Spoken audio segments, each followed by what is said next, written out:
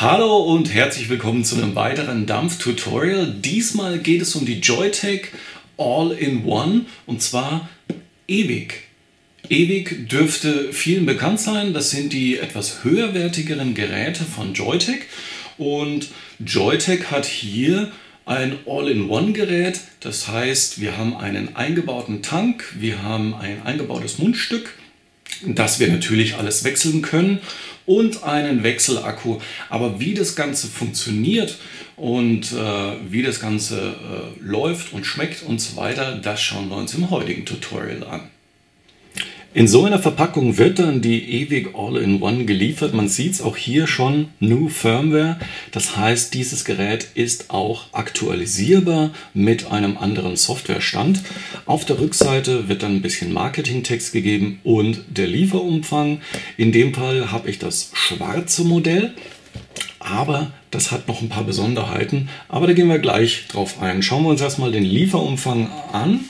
Da hätten wir natürlich als erstes eine Multisprachen-Bedienungsanleitung. Komischerweise hier in dem Fall ist äh, Deutsch nicht dabei, also Englisch, Französisch, Russisch und ich glaube Italienisch ist da äh, mit drin. Also ihr solltet Englisch können, falls ihr die Bedienungsanleitung benötigt.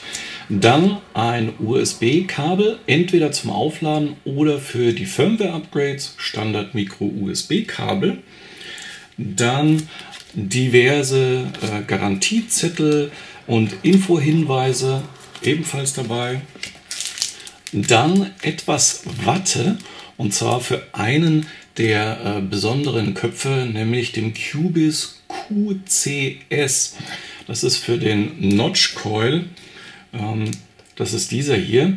Da könnt ihr die Watte dann selber wechseln. Also wenn ihr den Notch Coil verwendet, gibt es die Watte noch zum Wechseln gleich mit dabei. Und dann haben wir noch ein paar Verdampferköpfe. Alles äh, Edelstahl beziehungsweise entweder für äh, direkt Lunge oder Mouth to Lung mit 1,05 Ohm. Das ist dann so eine Clapton Coil, die mit dabei ist. Und für die Backendampfer gibt es auch wieder ein anderes Mundstück, das eine Verengung hat, also eine Verjüngung, die das Ganze äh, einem strengeren Zug dann macht. Also wenn ihr dann den 1,5 Ohm Kopf nehmt und dieses Mundstück anstelle dem, das äh, standardmäßig drauf ist, dann haben Backendampfer ihr volles Erlebnis, wie sie es brauchen. Dann haben wir noch einen 510er Adapter und was man mit dem macht, zeige ich euch gleich. Und dann logischerweise das Gerät selber. Ich sagte ja, ich habe die schwarze Variante. Das heißt, wir haben einen schwarzen Body und auch die Seitenteile sind in schwarz. Und das heißt, ähm, es ist komplett schwarz. Aber mit im Lieferumfang sind nochmal jeweils zwei äh, diese Aufkleber, also mit 3M-Folie.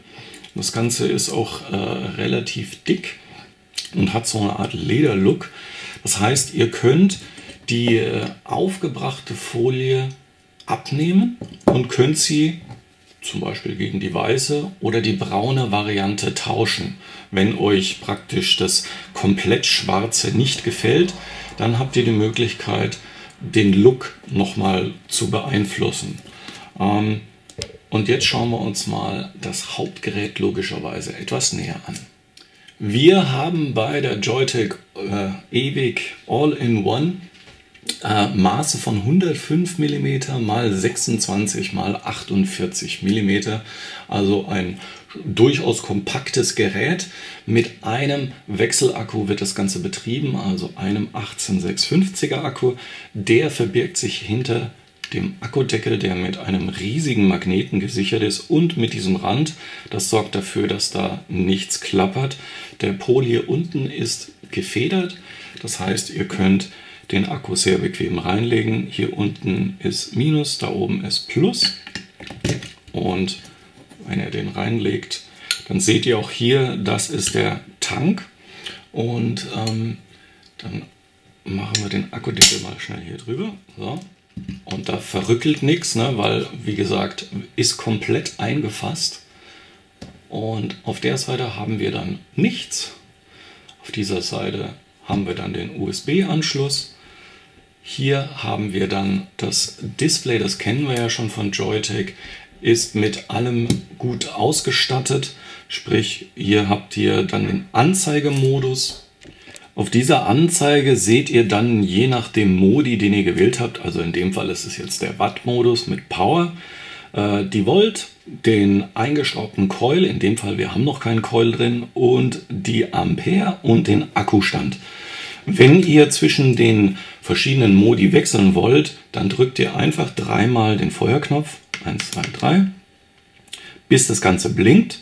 Und nun könnt ihr mit den Tasten, die ihr hier unten findet, die Einstellung vornehmen. Das heißt, wir können hier entweder eine Einstellung vornehmen am eingewählten Modus oder eben 1, 2, 3. Wir hüpfen hier zwischen den Elementen hin und her und navigieren dann, zum Beispiel jetzt ist der Bypass-Modus, also sprich der manuelle Modus. Hier können wir die Uhrzeit einstellen, dann Temperatur, NI, TCR, also Temperaturkoeffizient und wieder der Power. Also und das Besondere noch im äh, Temperaturmodus mit der linken Taste können wir dann zwischen den Elementen hier auch noch umherschalten, sprich wir können die Watt-Einstellung vornehmen oder die verschiedenen Auswahlmöglichkeiten eben. Das Ganze funktioniert äh, relativ einfach. Ähm, wie bei anderen Joytech-Geräten, die eine LED-Beleuchtung eingebaut haben, also sprich hier im Tank ist wieder eine LED, drückt ihr den Feuerknopf und die Hochtaste so lange, bis ihr in das LED-Farbmenü kommt und dann könnt ihr entweder eine LED-Farbe wählen oder das Ganze auch ausstellen. Das ist dann euch überlassen. Und wenn ihr sperren wollt, also sprich, dass hier keine Funktion ist, drückt ihr die beiden hier so lange, bis oben drin steht Keylog und dann würde nichts ausgelöst werden. Also ihr habt eine Sperrung vorgenommen oder nochmal drücken, damit der Key Unlock passiert.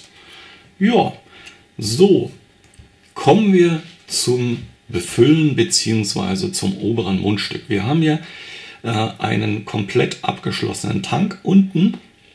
Das heißt, die Airflow befindet sich hier oben, wie ihr sehen könnt. Die ist auf beiden Seiten. Die könnt ihr einfach regulieren. Und um Liquid nachzufüllen, dreht ihr das Ganze komplett auf und dann könnt ihr das Liquid hier oben einfach einfüllen.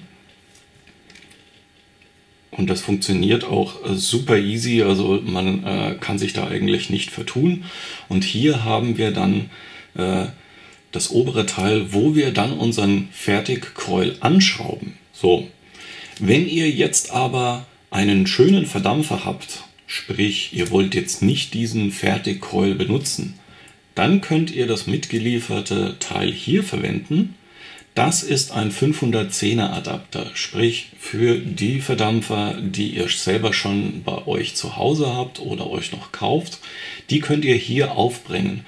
Und damit das Ganze dann mit diesem System funktioniert, gibt es diesen Adapter, das legt ihr, macht ihr dann praktisch hier rein, schraubt ihr zusammen. Und jetzt seht ihr schon, der Kontakt hier unten wird dann mit dem Tankende gemacht, wo dann auch der Feuerknopf dann das tatsächlich auslöst. Also dazu muss dieser Kontakt hier entstehen. Und der 510er Adapter ist eben dafür gedacht, dass ihr eure eigenen Verdampfer auch noch benutzen könnt, wenn ihr jetzt nicht das System benutzen wollt in dem Moment oder ihr habt einen, einfach einen genialen Verdampfer, den ihr immer wieder benutzen wollt, dann könnt ihr das mit diesem Adapter machen. Und ihr könntet euch natürlich ähm, den immer mitnehmen und hier einen Tank voll machen, äh, den Adapter drin haben, euren Tankverdampfer erst leer dampfen, dann den abschrauben und den hier reinmachen und mit dem System weiterdampfen. Also das ist euch dann überlassen. Ja? Also ihr habt auf alle Fälle mehr Spielmöglichkeiten durch dieses System mit dem Adapter und dem eingebauten System. Ähm, ist einfach eine schöne Auswahlmöglichkeit. Um den Coil anzubringen, einfach diesen nehmen und wie gesagt, hier ist, hier ist ein Gewinde, da ist ein Gewinde. Einfach aufschrauben, damit es diese Einheit bildet. Jetzt haben wir praktisch Mundstück mit Verdampfer und Verlängerung verbunden. Und nun füllen wir hier Liquid rein. Und wie gesagt, die Verbindung wird dann, wenn das eingeschraubt ist, auch hier gemacht. Und ihr könnt auch den Liquidstand gut überprüfen durch das Sichtfenster. Also man hat hier keine großen Probleme. Und dann füllen wir jetzt einfach hier Liquid rein. Und das ist das Schöne, ähm, ich kann da mit jeder Flasche ran, weil äh, die Öffnung so groß ist. Und ich habe den Vorteil, nach unten kann nichts rauslaufen, weil es ein geschlossenes System ist. Und dann schrauben wir das einfach ein. So. Und äh, wenn ihr das erste Mal das Ganze befüllt, dann lasst es bitte ein paar Minuten stehen, damit sich schön das Liquid hier jetzt in die Watte saugen kann, damit ihr kein, äh, keinen Dry Hit bekommt, also sprich kuckligen Geschmack oder so. Einfach fünf Minuten maximal reicht vollkommen und vielleicht ein paar Mal trocken ziehen. Das heißt nicht den Feuerknopf drücken, sondern einfach mal ansetzen, ein paar Mal ziehen, damit ihr ein bisschen Druck aufbaut und Liquid in den Coil gezogen wird. Und dann könnt ihr losdampfen. So, das ist also die Joytech All-in-One. Und ähm, die gefällt mir sehr, sehr gut. Also die ist, ähm, sie ist schön kompakt, sie ist All-in-One. Ich bin ein Fan mittlerweile von diesen Systemen, wo die Airflow oben ist und unten keine Möglichkeit zum Siffen. Ähm, tut einfach gut, äh, dass man das Gerät überall in die Jackentasche einfach reinpacken kann und keine Angst haben muss, dass unten eben die Liquid austritt oder durch die Airflow irgendwie was raussabbert. Ähm, das Ganze funktioniert äh, ziemlich gut und ich bin jetzt hier bei 37 Watt und wir machen einfach mal einen Dampftest.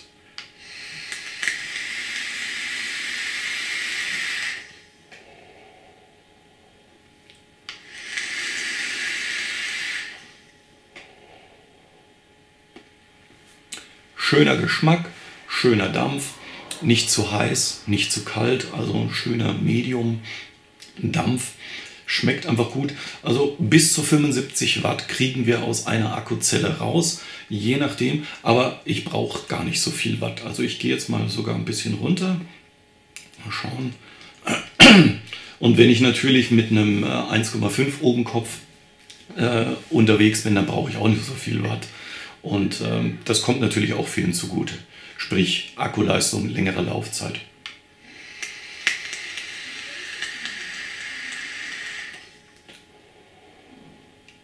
Ja, 30 Watt. Okay, das soll es gewesen sein. Bis demnächst. Ciao.